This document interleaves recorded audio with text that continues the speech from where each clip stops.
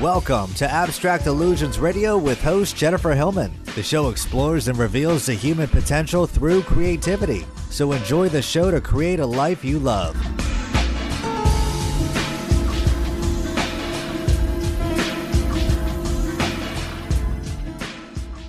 Hello, everyone. This is Jennifer Hillman, and thank you so much for listening to Abstract Illusions Radio. Today's great guest is Kendra Levin. She is a certified life coach for writers as well as a children's book editor, teacher, and writer. Since 2008, she has helped writers and other creative artists all over the world to meet their goals and connect more deeply with their work and themselves. She is a senior editor at Penguin, where she has worked for over a decade. Kendra teaches classes for everyone from media professionals to prison inmates. Today we will be talking to her about her new book, Hero is You Sharpening Your Focus, Conquering Your Demons, and Becoming the Writer You Were Born to Be. Yeah, yeah. Well, so I'd been working with creative people for a long time. Um, I'd been a children's book editor and a, a life coach working with writers and dancers, choreographers, actors, all different kinds of artists. And I thought for a long time that I'd really like to kind of just collect uh, my thoughts and things that I learned from witnessing people's sort of adventures in the creative process and, and exercises I developed and, and kind of put all that stuff together into one place um, into a book. But I really didn't have sort of like a unifying idea until I was having a conversation with a friend of mine who was teaching a class about the hero's journey. And I mean, I knew about it sort of vaguely, but I hadn't read Campbell and I just didn't really have sort of any deep background on it. And so I went and read the Hero with a Thousand Faces, and um, then I read a couple other books. I read a book called The um, Writer's Journey by Christopher Vogler, which is kind of like a screenwriting Bible, and um, I read a book called The Heroine's Journey by Maureen Murdock, um, which is sort of like a, a really like feminist perspective on the hero's journey. Anyway, and I just got really compelled by the idea of um, the hero's journey being a metaphor for the creative process because it really is such a perfect metaphor for it. Um, all the experiences that you go through when you're making art, um, from you know, kind of overcoming obstacles and how that goes, getting inspiration, just sort of all these moments that really correlated with um, the sort of hero's journey model of storytelling and with the archetypes that show up during um, during that story. So, for those who aren't overly familiar, can you just go briefly over the parts of the hero journey in so that we have an idea of what people are looking at? So they understand absolutely. how it Yeah, absolutely. So the hero's journey is, is really just sort of a very, very broad idea of um, a kind of a universal storytelling pattern that goes across cultures, across um, different eras. It shows up in everything from you know ancient myths to Disney movies, um, and it's basically just a hero, which could be anyone, um, sort of sets out on a quest. Um, goes through a lot of trials, has to overcome a lot of obstacles, and um, but also has you know moments of inspiration and moments of um, really sort of becoming fully realized person and ultimately faces this sort of ultimate challenge that is often kind of like sums up the person's greatest fears um, and forces them to face death and they overcome it and then um, they sort of return to their community with their boon or whatever you know wonderful thing that they've gotten um, as well as with a lot of wisdom and experience that sort of changes who they are forever. Um, and that when you mention about the death, to me that's when, for me in the artistic, being a writer, being doing graphics, doing a lot of different things within the creative fields. Death is like when they give up. when it just gets to be overwhelming and so the energy, everything that's going on in their life, and they have to make a choice. so many times it is the writing giving the writer giving up the writing because they have to go to work or the artist just getting so beaten down by the friends and by um, some kind of rejection and it gets to them there's so many different ways that can lead to that ultimate fear and the death that so many people give up their dream to be a creator in the artistic fields. Do you have suggestions, um, a few ways to kind of give them that little voice in their head other than their own saying, yes, you can do it, or any inspirational thoughts on not giving up? Because a lot of people get to that point and they, they do want to just let go. Sure, absolutely. Um, yeah, I mean, this is definitely something that I talk about in the book. You know, the the archetype that kind of represents that moment is called the shadow, and I think it really is kind of um, the shadow side of ourselves. You know, like that part of ourselves that wants to sabotage us, sabotage us, and wants to kind of pull us down and drag us under. And um, I mean, in the book, I talk about a lot of different ways to deal with this.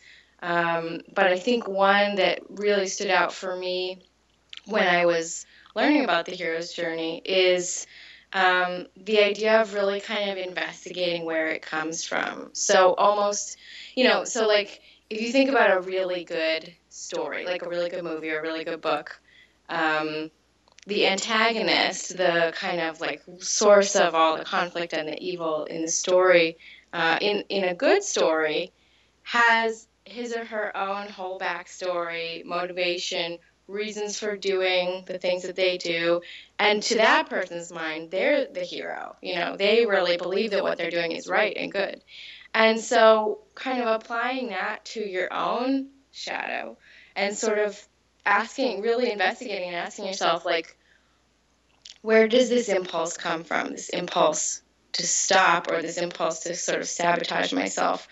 What's did this did this come what was the origin of it? Did this come out of a way that I was trying to help myself that just kind of got out of control or that really isn't serving me ultimately? You know, I think with a lot of coaching clients who I've worked with, um, that voice can come from uh, a parent or an adult who was in their life when they were young who would say stuff like, "Oh, why are you doing this? You know, you need to do take do things that are more serious or more important or whatever. You know, like that kind of stuff." And mm-hmm.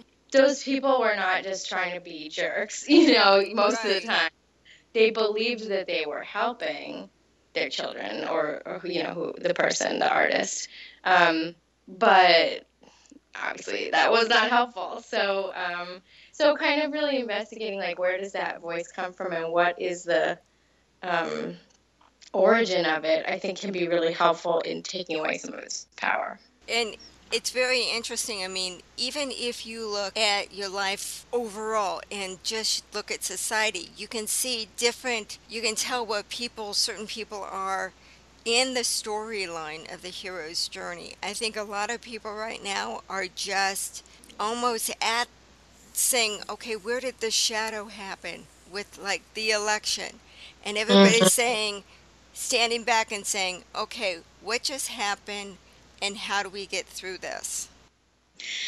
Yeah, I think that's really true, and it's something I've been thinking about a lot in the past few days. Um, just with all of the news coming through about the election and, and the way that people are handling it. And, um, you know, I think something that can be really difficult is when you kind of think you're in one part of your journey and it turns out you're in another, you know? So you think that you're just about to um, experience like a, a turn for the good or, um, or go through something wonderful and then it turns out you're facing the biggest obstacle that you've ever faced. Um, and I think a lot of people are sort of looking down the barrel of that right now, and um, and it's really hard. And you know, something I've been thinking about a lot is just like the difference between sort of the idea of resilience and the reality of it, you know, and kind of it's pretty easy to say like, oh yeah, like it's important to be brave or to take risks or to stand up for what you believe in. Um, when you when you are truly called upon to do it, it's pretty hard and scary. Um, but you do it, you know, and that's what being a hero really means. It doesn't necessarily mean feeling great about doing something scary, you know. That's that's what makes it so scary. But it's about hanging on to your core beliefs, your core values, and taking acts that defend those values. And it's, I mean, with most artists, that's what the process is for them is that self-expression that taking a stand and saying i want to say this and put it out to to the world and saying yes this is me this is who i am this is a reflection and one thing i've always noticed about art throughout history it always comes back to reflect something that's going on in society or mm-hmm. an, or an, an, opinion of what's going on. And Absolutely, yeah. It, it's going to be very interesting the art that comes out from the last few days. yeah, yeah, and and the and the weeks and months to come. I mean, you know, that's we're really only at the beginning, and we have no idea what's ahead of us, and that uncertainty is pretty intense. Um, but I think I think you're right that there's going to be some fascinating art that comes out of this time, and you know, if I if I could sort of send one message to the artists and creative people out there, it would be don't stop. You know, like your voice matters now more than ever and what you have to say is so important and that goes for people who are um, sort of you know speaking up in a journalistic way against uh, the things they're upset about but um, also for people who create fiction and people who create um, art that's not you know representational and, and not really like literal about what's going on because like you said any any art that is created during any time period becomes this kind of snapshot of what was going on in people's hearts and minds during that time. And i think it's so so important for us to have that um, and for us to use art as a way to cultivate empathy in people you know? Like to me that's a big, big part of what art and what literature are all about is giving people an opportunity to see the world through somebody else's eyes. And, um, you know, we are clearly at this crossroads in this country where there's like a, a empathy deficit, you know, and um, I think that artists are needed now more than ever to help correct that. Correct it and, and also um, allow the voices of the unseen and the unheard to be seen and heard through their work. Yes. Because a lot of time the artist is representing, and I keep getting in my head about the, the street photographer who is taking shots of the protests that are going on or just mm-hmm. you know the homeless that are out there and all those things because down the line people are going to look back at this and say okay what did we learn from that period so we don't repeat it mm-hmm. and sometimes there's some twisting of facts in some media so mm-hmm. the artist the most honest about what actually is going on yeah, that's really true. You know, I think that we're experiencing this moment of a real, um, I mean, it's really just starting, but I think it's going to really pick up a lot of steam, is like a real kind of um, uh, disaffection with the media. And I think a lot of people right now are feeling like uh, journalists who we generally trust have sort of steered us wrong. You know, to me, that is no reason to reject journalism or to, you know, kind of throw out the baby with the bathwater. Um, but I think you're right that art, in a lot of ways, can be kind of more um, honest. Uh, you know, partly because it doesn't rely on facts. um, so it can be, it can have that emotional truth and not really have to worry about sort of getting all the details right.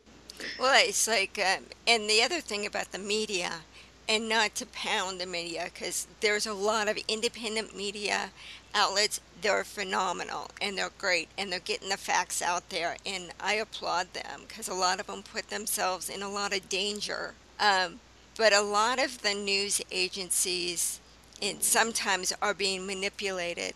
And that's what people need to be aware of and really check your sources.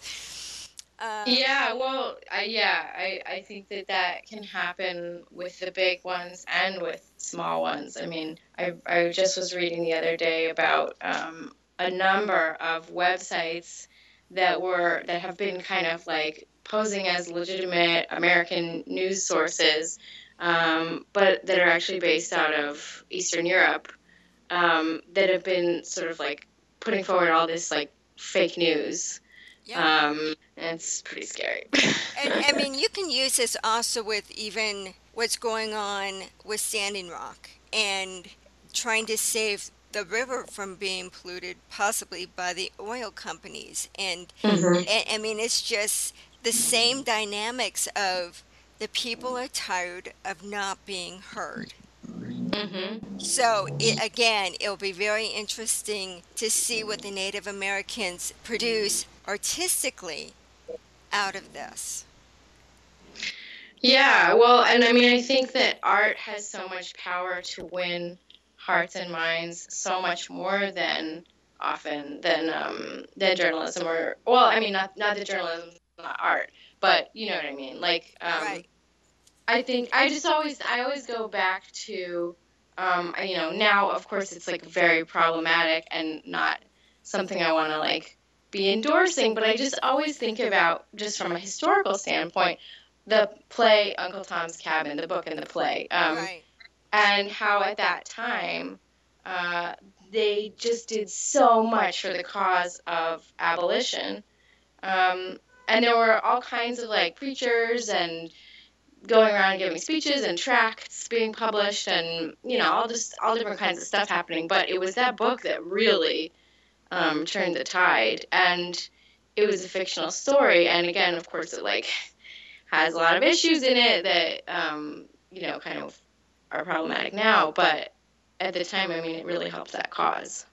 And, and even with the um, phenomena of um, Hamilton, I mean, it's it's kind of calling out and saying this is what the original founders of this country were looking for, and this is what their struggles. And yes, they were flawed people, but this was the foundation of this com- this this country. So it's yeah, like yeah, absolutely. Again, it's art trying to get us in the language of the times, which I think it's fascinating and amazing. That's hip hop. Um, that it's it's getting to the younger people because yeah. because history isn't really popular with kids.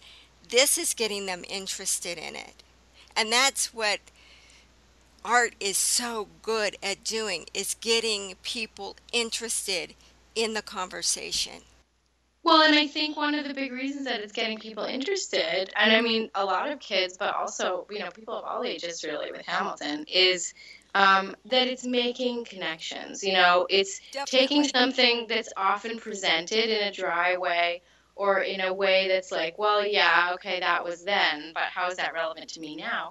And saying, actually, it's completely relevant to you now because Hamilton's story is the story of so many people who live in America right now and are going through these experiences right now. And um, yeah, I mean, I feel like Hamilton is really sort of like creepily prescient for what we're about to go through or, or maybe about to go through. Um, because you know it's about it's about the immigrant experience and it's about um, being in a land that's really sharply divided. And um, i hope we don't go through everything that he goes through but we don't want to end this world with a duel.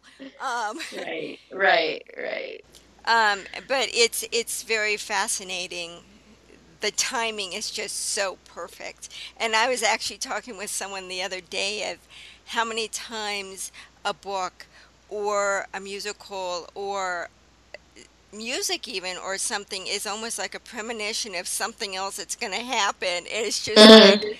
you know, you gotta wonder, you know, the universe connects with us in magical ways. And, and it's just like, hello, pay attention. So I, I think it's art to me is just such a necessity in society to keep um, the balance so people Absolutely. so Absolutely. Well, you know, there's a, there's a quote that I love by the poet Ezra Pound. He said, "Artists are the antenna of the race," and I think that it's really true that artists are these kind of antennae. They like pick up stuff that's in the ether between human beings and um, kind of translate it so people can understand each other and understand the world better. definitely and they know the, the right way in so many ways of finding the way that's going to touch the heart and the soul of people around them to get that message out Absolutely. um, so with with the this conversation it's not we're all basically on a human a, a hero's journey right now. And you know are you do you want people to really this book is something really worth getting for anybody who does any kind of creating or art in any kind of genre and actually just in everyday to help you figure out where you are. Um, because you have exercises in this to really help you figure out those um, the different places where you may be on your journey. Hmm Yeah, there's there's um I put a lot of exercises in the book and and some of them are very much about kind of like helping you make the art that you're making and some of them are more of sort of like a little bit of psychological investigation. Um, but I just wanted to give people a, a real chance to get hands on. I mean, you know, I teach workshops and run retreats and stuff for writers all over the country. And every time I do, what people really like the most is to get really hands on and to really have a blueprint or have a framework to be figuring stuff out. So, so that's why I wanted to include a lot of that stuff in there. what experience that you, have you had as a writer and also as the editor at penguin that really helped you say yes this is you said where you got the the inspiration but was there anything in your experience that really said this is where i i really need to get this information out now Well, um, you know, I think this is some this is a project I've been working on for a long time. So this it came out just last week, uh, in November, and it's been about six years since I first kind of conceived of the idea for this book. But I feel like in a way it's really sort of been brewing even longer than that. You know, I had experiences as a writer that led me to really want to help other writers going through difficulties. Um, I, writing's always been really hard for me. It's always been like a big passion and always really challenging. And I definitely went through a lot of ups and downs with it. And um, when I was 20 years old, I was a senior in college, and a play that I wrote was produced off Broadway. Uh, and it was uh, really kind of the beginning and end of my career as a playwright. Um, it was a, a fantastic experience and amazing, uh, and also really um, scary having my work out there, really um, kind of paralyzing the pressure that I put on myself after that, um, sort of, you know, of course, without meaning to, but I just felt like all this pressure to write something else and it had to be amazing and blah, blah. And as a result, I actually didn't write for quite a long time. Um, after having really been very passionate about writing and really expecting to sort of have a career as a writer. And then when I did write again, I didn't tell anybody and I kind of kept it a secret for a long time.